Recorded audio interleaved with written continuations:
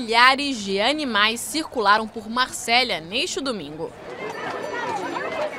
Cavalos, vacas e ovelhas, no total mais de 4 mil bichos cruzaram a cidade francesa durante a última etapa de uma transumância organizada pela trupe equestre do Teatro Centauro para a atual capital europeia da cultura. À frente do rebanho, toda de preto, está Camille, uma das fundadoras do circo. Ela representa um centauro, símbolo da união entre homem e animal.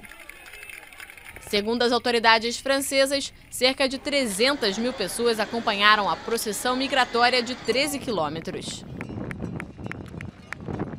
O objetivo, de acordo com os criadores do espetáculo, é trazer a animalidade para a cidade, aqui no caso, a segunda maior da França.